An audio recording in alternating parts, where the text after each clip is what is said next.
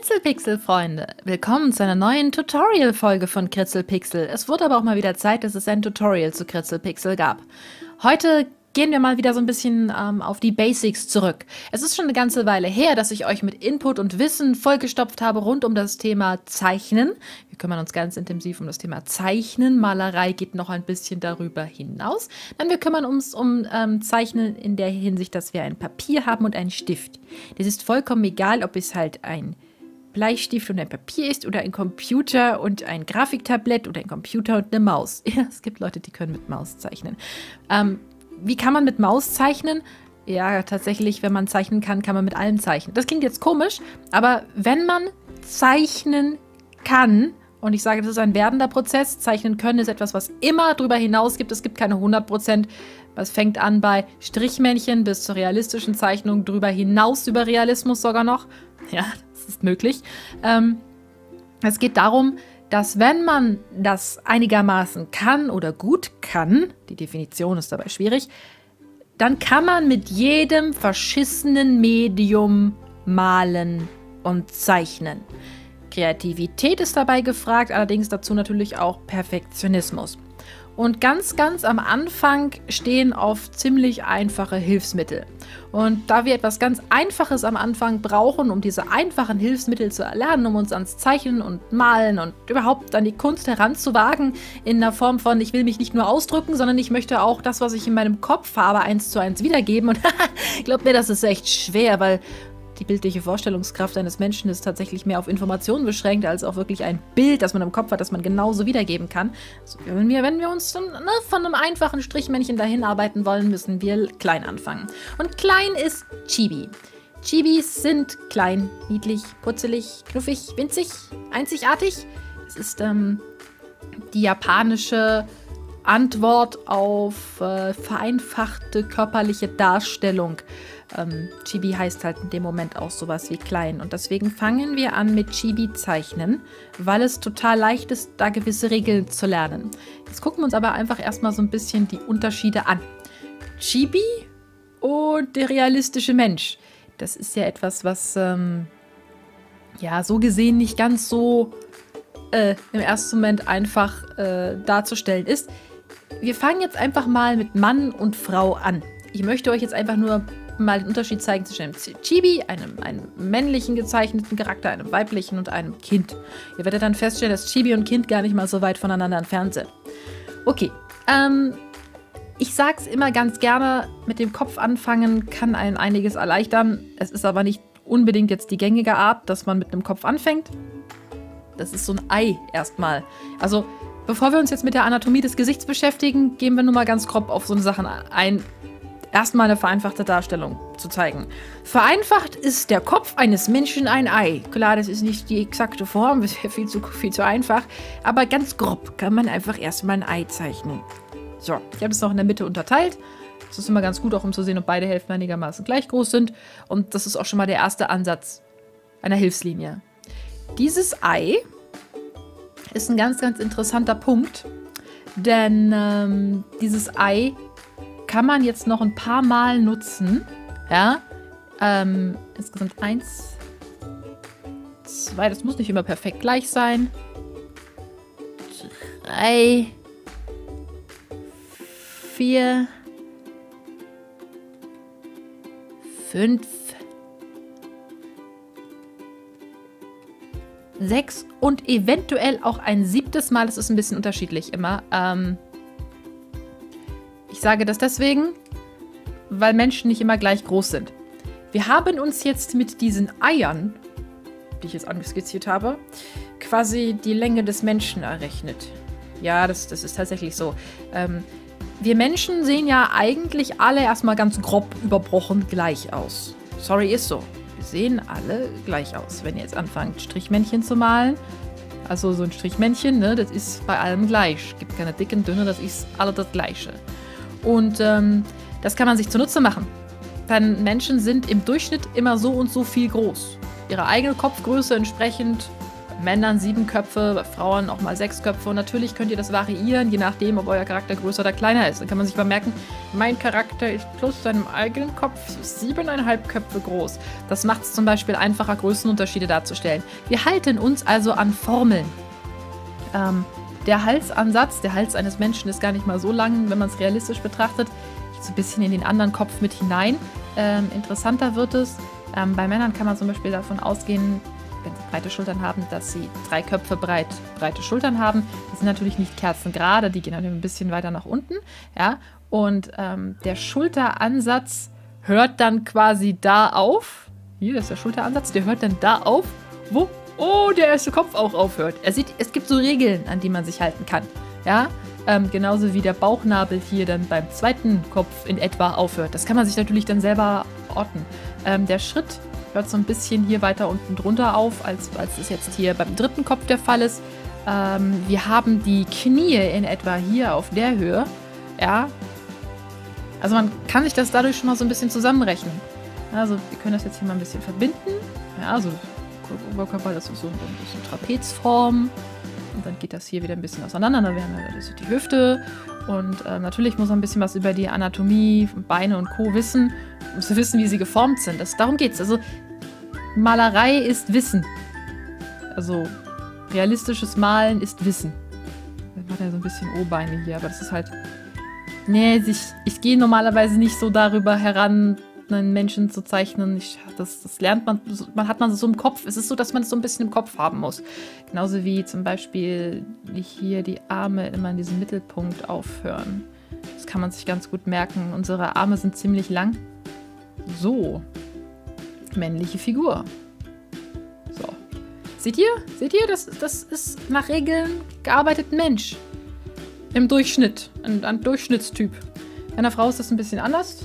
Da sind auch die Proportionen so ein bisschen anders. Kann man sich jetzt auch wieder hier so ein bisschen die Köpfe zulegen, aber ich äh, möchte das einfach nur mal so, dass die Schultern sind bei Frauen ein bisschen schmaler. Das sind meistens lustigerweise Tittis, also, also zwei Köpfe breit sind die Schultern in der Regel bei der Frau.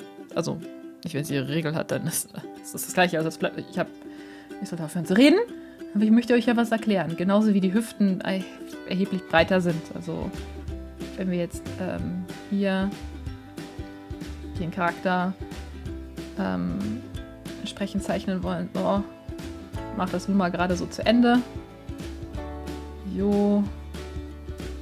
So. Hier. ähm, es gibt da so gewisse Regeln, an die man sich halten kann, wenn man Menschen zeichnen will. Das gibt es übrigens bei allem. Ihr könnt alles in geometrische Formen und Längenverhältnisse einteilen. Ihr könnt anfangen zum Beispiel das mit Hunden zu machen. Also ihr nehmt euch halt immer die gleiche Hunderasse vor und dann guckt ihr halt mal, ja, okay, der, der Kopf ist, der passt immer dreimal da rein oder manchmal viermal oder manchmal, ähm, wenn ihr jetzt zum Beispiel hier irgendwie so einen so Schnauzer habt, ne, ich, wenn ich jetzt zum Beispiel anfange, so einen, so, so einen Hund zu zeichnen, dann fange ich auch gleich automatisch an, ihn erstmal in geometrische Formen zu zerlegen, damit man einfach nur mal grob schon den Hund hat. Das kann man immer detaillierter ausarbeiten. Aber es hilft einem halt, die Dinge zu zerlegen aber gewissen Regeln zu folgen. Genauso wie bei Gesichtern, da haben wir schon mit Hilfslinien drauf eingegangen, dass es gewisse Regeln bei Abständen gibt. Und um Charaktere individuell erscheinen zu lassen, kann man diese Regeln abweichen. So kann man sich, wenn man einen Charakterbogen erstellt, zum Beispiel sagen, ja, der Charakter, also es ist bei Menschen zum Beispiel so, dass wenn man jetzt zeichnet Augen, man im Regelfall zwischen den Augen so viel Platz hat wie für ein drittes Auge. Hier so, da. Das kann man ja variieren. Man kann ja sagen, es ist fast ein Drittel Auge oder ein bisschen mehr noch als ein drittes Auge. Ja, also ihr seht, ihr könnt euch selber helfen durch dieses Erarbeiten von diesen Regeln, ähm, unterschiedliche individuelle Charaktere zu erstellen. Aber diese Sachen hier zu erlernen, mit den Zahlen und äh, Maßen und alles. Das dauert auch ein kleines bisschen. Das muss man viel üben und kombinieren mit Abzeichnen und ins Gehirn einprägen. Deswegen ist es ganz sinnvoll, durchaus bei, einer einfachen Form anzufangen. Durchaus von einem Strichmännchen weg, sage ich da immer ganz gerne, weil der typische Mensch zeichnet ein Strichmännchen ja so. Und das ist gar nicht mal so falsch. Ja, also mal abgesehen davon, dass der Armansatz nicht stimmt, kann man aber halt jetzt hier schon anfangen, den Charakter ein bisschen zu erweitern. Ja, Und schon seht ihr, äh, kommt der ganze Charakter, einen Körper und sieht damit realistischer aus. Und da haben wir fast schon unseren Chibi. Ein Chibi hat immer einen sehr, sehr, sehr, sehr großen Kopf. Ja, ich tue das jetzt mal nicht in Relation zum Rest der ganzen ähm, Charaktere zeichnen, sonst wäre er plötzlich sehr, sehr klein. Ähm, die Vereinfachung hier ist halt ganz sinnvoll. Also ich nehme halt einfach quasi wieder den Kreis als äh, Basisform und der Hals eines Chibis ist meistens ziemlich klein. Es gibt viele verschiedene Chibi-Stile, aber wir nehmen jetzt einfach mal meinen. Und ich mache immer so eine Art Birne aus dem Körper. Also, weil es, das ist kein perfektes Trapez in irgendeiner Weise, sondern es ist so eine Art Birne. Ne, wir sehen hier, das hier ist eine Birne. Ja? Das ist einfach eine Birne. Und die Arme, auch wenn sie ein Gelenk haben, sind halt auch mehr so Würstchen. Die folgen halt auch gewissen Regeln. Sie, der obere Bereich ist ähm, quasi bei mir immer genauso lang wie der untere Arm, ist aber halt dicker. Also ne, so, so, ein Arm ist hier, ähm, hat so einen Ansatz an der Schulter, geht so ein bisschen schmal zu. Ihr seht, der geht hier so ein bisschen spitz zu, hat hier sein Gelenk und dann kommt hier nochmal so eine, eine dicke Wurst und dann kommen hier die Hände. Ja, also ihr seht, es ist, folgt auch Regeln und Gesetzen, die man sich teilweise selber ein bisschen erarbeitet. Ja, und die man ähm, auch ab, durch Abzeichnen oder durch sich angucken von anderen Zeichnern lernt. Ja. Ganz wichtiger Tipp, wenn ihr am Computer zeichnet und zum Beispiel ihr macht solche, erstmal hier so eine, so eine einfache Form, zum Beispiel vor den Armen, um die zu modellieren, radiert Sachen davon weg. Das könnt ihr auch auf dem Papier machen. Also ich empfehle, wenn ihr euch ähm, Stifte kauft und Papier kauft, Nehmt hochwertiges Zeichenpapier, nehmt hochwertige Zeichenstifte, also wenn es geht wirklich aus dem, aus dem Künstlerbedarf hochwertige Bleistifte, die, ähm, wenn ihr äh, erstmal Skizzen macht, reicht ein HB aus. Ich mag HB-Stifte sehr gerne, äh, Pencils. Also ein, ein HB ist halt nicht zu stark, nicht zu weich, das verschmiert nicht zu sehr, ist aber auch nicht zu dick und dann dünn, ganz dünn vorsichtig aufdrücken, nicht doll aufdrücken, damit ihr mit einem Radierstift auch die ähm, Linie modellieren könnt. Ja, zum Beispiel, wenn ihr jetzt einen Kreis malt und der ist nicht ganz perfekt geworden, könnt ihr Teile davon wieder wegradieren und wieder dran malen. Das ist die Technik, die ich am Computer benutze mit dem Grafiktablett, die man auch mit der Maus benutzen kann, wenn man mit der Maus zeichnen will. Wobei das mit der Maus, das ist noch was für Fortgeschrittene. Ähm, aber das ist eine Zeichentechnik, die ihr auch auf dem Papier anwenden könnt. Ja? Ist nicht ganz so einfach wie am Computer mit dem Zeichentablett, aber es geht nicht anders. Weil gerade mit dem Grafiktablett habt ihr es nicht leicht, perfekt gerade Linien hinzukriegen. Die sind dann meistens mehr so. Und hat man keine andere Wahl als stricheln, stricheln, stricheln. Wenn ich jetzt die gleiche Linie, die gerade so kritzelig war, strichle und nachmale, seht ihr, dann sieht die gleich schon viel besser aus. Das ist eine andere Art, eine Technik dahinter. Das ist nicht nur, es ist Wissen, Beobachtungsgabe, Kreativität, Ausdruck und Technik. Ja, das sind alles Dinge. Man, wenn ihr Bob Ross guckt, ähm, auf Netflix kann man jetzt wohl auch seine Videos schauen, das finde ich toll. Ansonsten äh, montags auf Twitch wird das ja immer gestreamt. Seht ihr halt, wie er mit ziemlich einfachen Techniken, Illusionen von Natur erzeugt. Es ist ja immer nur eine Illusion, man stellt ja keine Realität dar. Das ist ja quasi dem Gehirn, das Gehirn sieht, ah, das sieht aus wie ein Baum.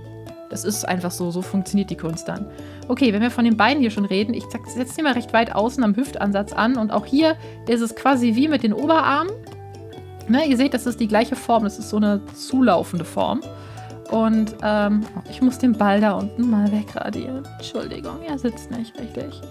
Ähm, dann gehe ich Füße und ähm, ja, Waden quasi in einem mit, äh, mit abnehmen. Ähm, ich ich, ich habe halt hier so, da kommen halt die Füßchen dran. Das ist halt so ein. Ne, hier ist quasi der Fuß, da ist die Wade, da ist der obere Beinansatz. Ne? Das ist so ein, ich lasse das immer ganz gerne hier so ein bisschen mit äh, reinlaufen. Das ist eine extrem vereinfachte Form einer Person. Eine extrem vereinfachte Form. Ja? Also äh, meistens sind bei mir dann halt die Beine auch durchaus hier so in einem, in einem Satz äh, abge, ab, abge, wie nennt man das? Fertig, abgehandelt. Ist, ist gut. Ähm, was ich jetzt gerade mache, ist versuchen, dass die Figur realistisch steht. Das ist der nächste Punkt, an dem, dem wir uns kümmern müssen. Ähm, da gehe ich auch nochmal ins Detail drauf ein. Also wir werden für alle einzelnen Sachen mehrere Zeichenvideos brauchen, um da genau, genau drauf einzugehen. Diese Figur jetzt hier, ich weiß, in der Realität würde sie wahrscheinlich sogar umkippen, aber erstmal sieht sie so aus für unser Auge, als könnte sie realistisch stehen. Das ist etwas, was nicht unbedingt jeder sieht. Also wenn ich jetzt zum Beispiel, ich gehe jetzt mal hier oben einen Chibi hinsetzen. Der hat hier seinen Körper und dann hat er hier sein, ähm, seine Beine. Äh, Gott, ich habe es selber gerade fast geschafft. Dass der. Es, ist, es ist teilweise, wenn man angefangen hat, sich mit dem Schwerpunkt zu beschäftigen, schwierig, einen Charakter zu malen, der nicht stehen kann. Also der, ne, der Körper ist ja schwer. Wir haben ja Schwerkraft in unserer Welt. Da gibt es ja Schwerkraft. Und irgendwo muss er ja drauf stehen. Und wir können balancieren. Unser Schwerkraftpunkt ist oft im Körper meistens in der Hüfte. Der kann aber auch verlagert werden. Und wenn ich jetzt hier einen Charakter habe und der Schwerpunkt ist da in der Hüfte, ähm, dann ist es so, dass ich das Gewicht auf beide Beine aufteilen muss. Wenn die jetzt hier beide so nebeneinander stehen, äh, sieht das so aus, als könnte der Charakter stehen. Äh, das ist, es, ist, es ist tatsächlich schwieriger, einen Charakter nicht realistisch stehen zu lassen, wenn man das einigermaßen kann. Also stellen wir mal den Charakter hier auf ein Bein und machen das dann hier so, dass der Charakter ein Bein anwinkelt. Oder ihm fehlt eins. Er würde nach da umkippen. Ihm fehlt, also wenn, wenn der, das, das, weil der, der, der Schwerpunkt des Körpers, der Hauptteil des Körpers, das hier ist alles schwer. Das ist alles ganz doll schwer. Ähm, verteilt sich mittig hier auf dem Punkt, den einzigen Punkt im Körper, wo der stehen kann. Und wenn er sich nach unten verteilen soll, muss ich das Gewicht entweder da unten wieder aufteilen auf zwei Beine oder mittig, da wo der Schwerpunkt im Körper sitzt, stehen. Also theoretisch müsste hier, könnte auf einem Bein balancieren. Tut er aber nicht. Das eine Bein ist da außen und hier fehlt ein Bein. Also hat der Schwerpunkt, verteilt sich nicht hier drauf und auch nicht da drauf, sondern er kippt um. Ja, das ist so ein wichtiger Punkt, über den wir nochmal ganz detailliert reden müssen. Schwerpunkte von Körpern ist ein eigenes Fach für sich. Physik! Ja, meine Damen und Herren, Zeichnen hat leider auch etwas zu tun mit Physik. Das werdet ihr beim perspektivischen Zeichnen noch lernen und dann werdet ihr kotzen, so wie ich hasse Perspektive. Aber ich kenne ein paar Techniken für perspektivisches, räumliches Zeichnen.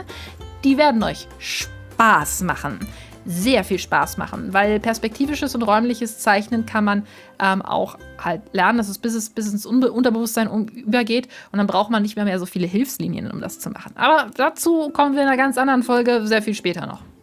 So, wir waren noch nicht beim Kind angekommen. Das Kind. Kleiner Kopf, ja, ist quasi die kleine Mini-Variante der Eltern. So, kann man sich vorstellen, hier sind wir wieder mit vielen Köpfen. Ist dem Chibi nicht unähnlich, weil es einen plumperen Körperbau hat. Ja, das ist sowohl bei Mädchen als auch bei Jungs gibt sich halt da kein großer Unterschied. So. Lass das mal gerade hier so stehen. So, Arme. Ähm, Weil es ein, wie soll ich sagen, ähm, keine großen, so großen Unterschiede gibt, äh, was halt Schulterbreite und so weiter angeht. Die sind bei Kindern ziemlich einheitlich. Seine sind dicker oder dünner, aber es dauert bis oh, ja, 10, 11 Jahre, bis die Körper anfangen, sich stark unterschiedlich zu entwickeln. So, wir haben jetzt also Körperbau von dem Mann. Hallo. Von der Frau. Hallo. Von dem Kind. Guten Tag. Und vom Chibi. Den Chibi, an den wir uns heute kümmern wollen, den wir heute gestalten wollen und den wir heute überarbeiten werden. Und da werden wir lernen, was man da alles machen kann, wie man darstellen kann. Natürlich im Manga-Anime-Stil, weil erstens das, was alle sehen wollen, zweitens das, was ich kann. ja, das ist, ja man, das ist Schuster bleibt bei deinen Leisten.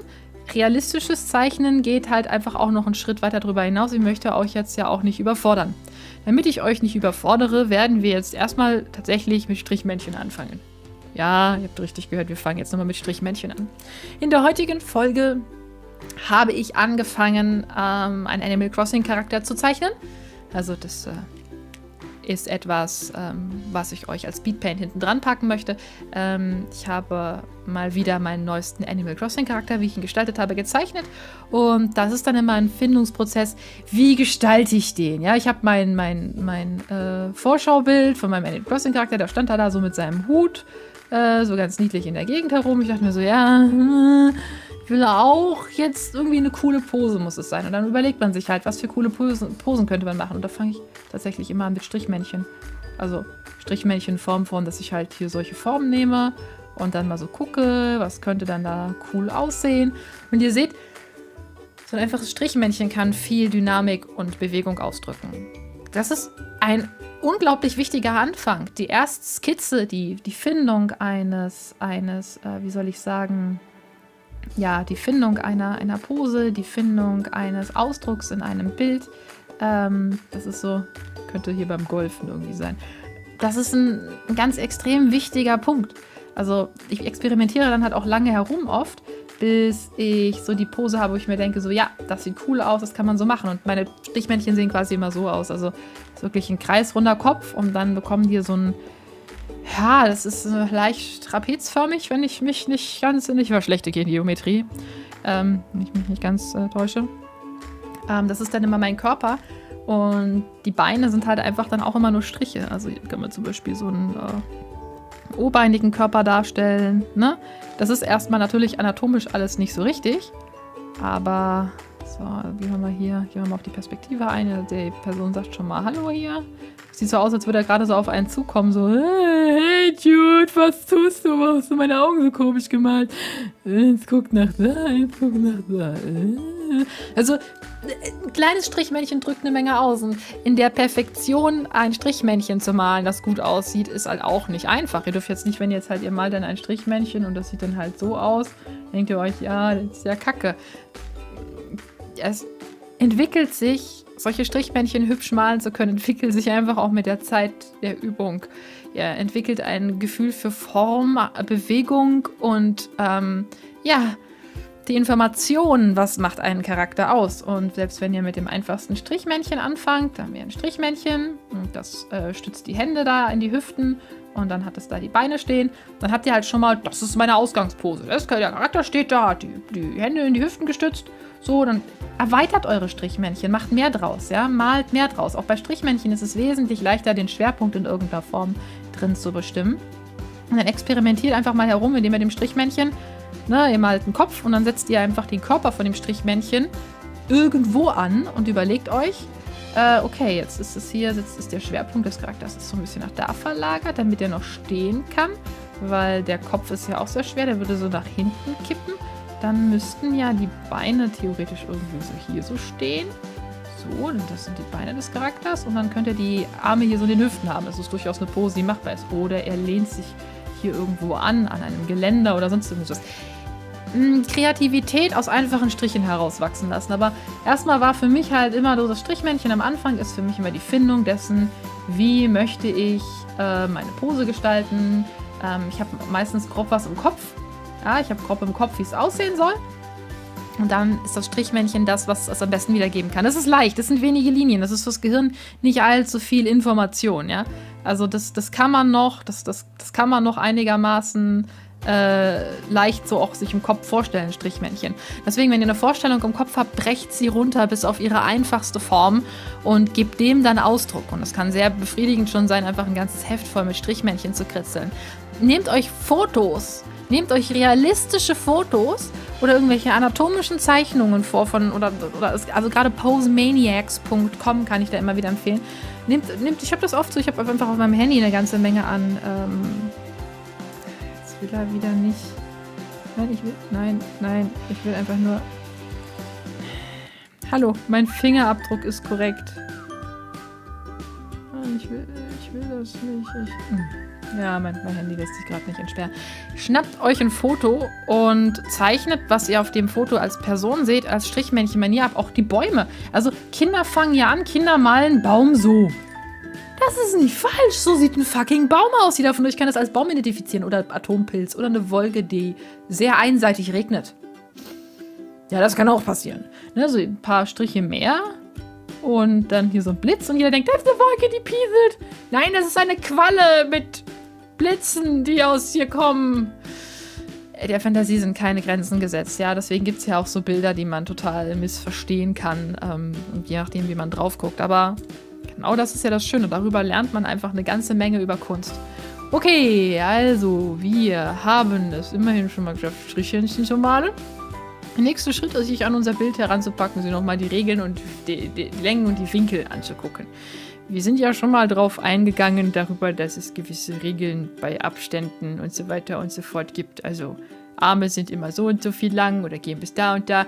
Wie wendet man das jetzt aber konkret an, wenn man jetzt eine Pose hat? Also fangen wir mal ganz simpel an. Ich habe hier mein Strichmännchen und ich will, dass sich das Strichmännchen, so das ist der Oberkörper, das ist der Unterkörper, dann äh, steht das, äh, das hier, das ist das, das, Bein hier, so, äh, kann ich malen, äh, so, und stützt sich hier mit den Händen drauf ab. Mit. Jetzt muss ein bisschen gemittelter aussehen. So, das sind das die Beine. Das sind die Beine stützt sich hier mit den, mit den Armen so auf den, quasi so auf den Knien ab. So meine Grundgedanke, das ist so die Grundidee. Man guckt sich vielleicht da unten, was weiß ich nicht, was, ein Kätzchen an. Da ist ein Kätzchen. So, guckt sich das an. Man, so, man mückt sich so nach unten und hat so die Hände auf den Knien und bla und bla. Okay. Wie bringe ich das jetzt in Relation? Wenn ich jetzt einen Chibi habe, habe ich es ja Gott sei Dank recht einfach. Also mache ich wieder meinen großen, runden Kopf. Setze hier schon mal so ein bisschen Kiefer an. Ja, ich habe hier meine Hilfslinien, die mir helfen sollen festzustellen. Und wir hatten das schon in einer Folge detailliert. Wo sitzt das Gesicht? Gesicht Mittellinie, wo die Nase sitzt. Mittellinie, wo die Augen dran sitzen und der Mund sitzt und hier, wo die Ohren dran sitzen. Ne? Also das folgt gewissen Regeln. Das hatten wir schon in einer Folge Kritzelpixel. Das könnt ihr euch auch gerne nochmal angucken. Die Playlist dazu findet ihr auf meinem YouTube-Kanal. So, dann weiß ich halt, okay, der Teil davon, also hier ist, wenn das hier so der Hals an ist, verdeckt halt auch schon mal so ein bisschen den Oberkörper. Und ich habe hier mal meinen birnenigen Oberkörper. Aber eine Birne, das ist halt Ne, nur weil der Oberkörper jetzt hier von so einem Chibi mir so eine Birne ist, das ist der Knickpunkt hier. Das ist der Knickpunkt. Also kann sich der Chibi hier in dem Fall auch knicken. Ja? Und dann kommt jetzt wieder hier meine Würstchentechnik. Dann gucke ich halt immer erstmal, okay, so sieht es auch aus, als würde er äh, da stehen können. So. Eh. Komm schon. bisschen wegradieren, damit man es deutlicher sieht. Also für mich ist das immer ein bisschen einfacher zu sehen. Ich versuche es jetzt gerade für euch so ein bisschen deutlicher zu machen, dass halt hier liegen so die Hände auf, hier so auf den den Knien entsprechend. Und äh, hier unten wäre dann das äh, flauschige kleine Kätzchen. Mau. Und mein Charakter guckt halt gerade runter und schaut sich das Kätzchen an und freut sich. So. Also, wir sind jetzt wieder hier danach gegangen. Ähm, Chibi hat halt quasi, ist in etwa immer so drei Köpfe von sich selbst groß. Ne? Wir sehen hier die Kopfgröße. Das sind die drei Köpfe. Es ist ein bisschen mehr. Ich mache das auch ganz gerne mit nur mit so Hilfslinien oder mit so Kästen, um mir das deutlicher darzustellen. Ähm, diese Regel halte ich beim Zeichnen quasi automatisch ein. Ansonsten, da gehen wir jetzt drüber, um das ein bisschen zu verdeutlichen, ist halt so, ihr habt halt hier euren Chibi-Kopf. Dann macht ihr halt noch einen Kopf und dann macht ihr noch einen Kopf. In der Bewegung, in der der Chibi gerade steht. Ja, also man kann sich das als Hilfslinie, könnt das halt voran haben. Das ist euer Ausgangsbild und daraus heraus macht ihr den Chibi. Ähm, das hilft halt auch dahingehend, dass ja die Arme, das hatten wir ja auch vorhin schon bei dem Bild vorher. Moment, ich äh, gehe da gerne auch nochmal drauf ein. Da gelernt, dass ähm, die Arme, hier, das sehen wir hier nochmal ganz deutlich, hier an diesen Punkten, einen gewissen Regelsatz folgen. Also die gehen halt immer bis zur Hüfte. Also wenn ihr, wenn ihr euch jetzt hinsetzt, Kerzen gerade, und ihr lasst eure Arme nach links und rechts fallen, werdet ihr sehen, dass eure Ellbogen in etwa auf Bauchnabelhöhe enden. Ja, das ist bei fast jedem Menschen so. Das ist mal ein bisschen länger, ein bisschen kürzer, das ist klar, aber das ist so. Wie lang dann der Oberkörper ist, ist auch noch bei jedem unterschiedlich. Aber es sieht anatomisch korrekt aus, wenn ihr, selbst wenn der Oberkörper etwas länger ist als bei anderen Menschen, jetzt äh, toi, toi, toi, nicht zu lang. Ähm, ne, es sieht halt realistisch aus, wenn ihr die Arme entsprechend auch lang macht. Und nein, nicht alle Mangaka tun solche Sachen immer ähm, für sich selbst äh, vollständig. Ähm, das kann man in Mangas ganz gut oft sehen, wie, wie da teilweise nicht äh, die Länge eingehalten. Das sieht furchtbar aus. Oft möchte ich denken, boah, hast du keine Hilfslinien benutzt. Ich benutze die Hilfslinien auch, wenn sie nur in meinem Kopf existieren. Ich benutze die Hilfslinien immer. So, dann gehen wir jetzt auch mal mit den Hilfslinien dran. Also ne, wir, wir haben hier, quasi hier ist unser Hüftpunkt. Die Arme gehen ja jetzt, weil er sich vorgebeugt hat, ähm, da muss man halt auch, ähm, wir gucken uns das Ganze jetzt mal aus der Seitenperspektive an, wenn das jetzt hier direkt von der Seite wäre, also hier ist so Nase, ne, Kinn, Dings. Ähm, dann haben wir hier den Knickpunkt und dann gehen ja hier, geht das ja hier, ne, hier haben wir den Ellbogen, geht das ja hier so drüber hinaus mit den, mit den Knien quasi. Und weil wir hier eine Überschiebung haben, weil sich das hier so ein bisschen überschneidet, ist jetzt hier die Beugung nicht exakt auf meinem Knickpunkt. Ja, das ist auch noch so eine Sache. Es hat halt viel mit der Anatomie zu tun und mit, mit, mit Perspektive. Die Perspektive verschiebt gerne solche Punkte. Also kann man sich dann auch mal ganz bewusst, ich gehe jetzt gerade mal zurück. Kann ich, kann ich, kann ich, geht das? Steuerung Z will er nicht. Nochmal? Will er auch nicht. Machst du jetzt Steuerung Z? Ja, so ist brav. So, wir gehen jetzt nochmal hier zurück, damit wir uns das hier nochmal genauer angucken können. wir haben ähm, hier unseren, unseren Knickpunkt. Das ist unser Winkel. Der Kopf sitzt ein bisschen so, die Hüfte sitzt ein bisschen so, die Beine sitzen ein bisschen so. Wir sehen, es, ist, es dreht sich so ein bisschen, spiralförmig, ja. Und dementsprechend ähm, sitzen halt hier auf diesen Punkten dann auch die Arme. Der hier ist ein bisschen länger als der da vorne, weil wir halt hier unterschiedliche Winkel haben. Also wir haben da die Schulterlinie uns quasi jetzt eingezeichnet, weil die Schultern sitzen ja hier so ein bisschen schräg auf dem Bild. Und so entstehen Längenunterschiede und dann auch Unterschiede, wo die Ellenbogen sitzen, um das nochmal verdeutlicht zu haben. Ja, so komplex ist das, so widerlich komplex ist das. Und ähm, da muss man dann halt oft mal nachdenken. Wo sitzt denn, wenn die Schulter da sitzt, sitzt die tiefer, weil in der Perspektive, ne, das, das kann man jetzt hier deutlich sehen, ne, in der Perspektive ist es ja so, dass, die, dass, dass wir hier den oberen in diesem Schulterbereich haben. Hier fängt die eine Schulter an, da fängt die andere Schulter an. Und das ist ja nicht eine gerade Linie, die ist ja schräg, weil der Charakter ja zu uns gedreht steht, so ein bisschen mit der Schulter, ist ja nicht direkt frontal. Das sind die kleinen Feinheiten, die entgeht, das, das entgeht einem oft. Dafür muss man halt einfach verinnerlichen, wie Perspektive funktioniert. Das ist so ein Prozess, der sich erarbeitet, wenn man es bewusst lernt, speichert das Gehirn das ein, weil wir sehen es den ganzen Tag. Wir sehen den ganzen Tag Perspektive. Und je bewusster ihr euch diese Dinge anschaut und je bewusster ihr euch das Ganze klar macht, desto leichter und einfacher wird das für euch. Nehmt Referenzbilder. Auf DeviantArt gibt es jede Menge Referenzbilder, die man benutzen kann, um zu zeichnen. Wichtig ist auch, dass ihr, wenn ihr malt, Erfolgserlebnisse habt. Ähm, abmalen ist eine böse Sache, wenn man nicht deutlich sagt, okay, es ist abgemalt von dem und dem Künstler. Weil viele Leute, oh, das sieht dann voll geil aus. Und jeder denkt sich, oh, das ist voll schön. Ich zeichne übrigens nochmal gerade den Schatten ein, das sieht so komisch aus. Ähm, man denkt sich, oh, das sieht ja schon voll gut aus. Und dann kriegt man Lob und dann fängt man an, immer mehr Sachen abzuzeichnen. Man lernt zwar eine Menge durch Abzeichnen, aber Abzeichnen ist für unser menschliches Gehirn, das sehr leistungsfähig ist, ziemlich leicht. Ähm, je besser man malen kann, desto besser kann man logischerweise abzeichnen. Aber es ist für mich zum Beispiel Anime- und Manga-Bilder eins zu eins abzumalen, dass es aussieht wie das Original, total einfach. Und das ist, weil ich gerade je, je, mehr man malen kann, desto einfacher wird es, ne? Das da oben sieht übrigens aus wie ein Arsch. Ich gucke die ganze Zeit drauf und denke mir so, voll der geile Butt. Chibi-Butt! So, dann machen wir jetzt noch Beinchen dran. Hier so, geht so eins so nach hinten. So. Und hier die Arme. Da ist ein Chibi sehr stolz auf sein Butt.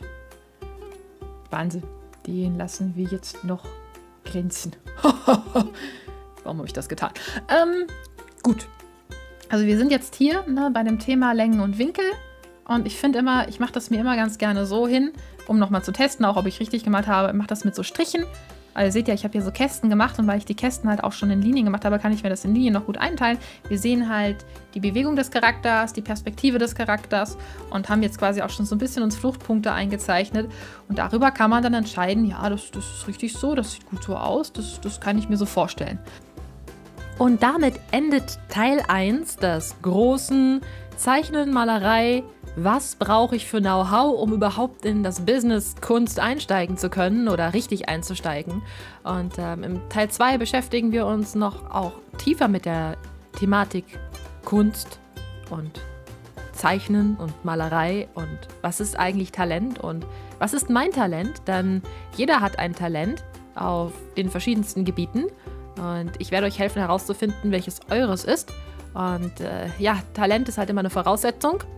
Und ich werde euch zeigen, ähm, dass auch ihr eine Voraussetzung erfüllt, die euch bei der Malerei weiterhilft. Und auch in vielen anderen Lebenslagen. Denn Talent ist nicht beschränkt auf Kunst alleine. Ne?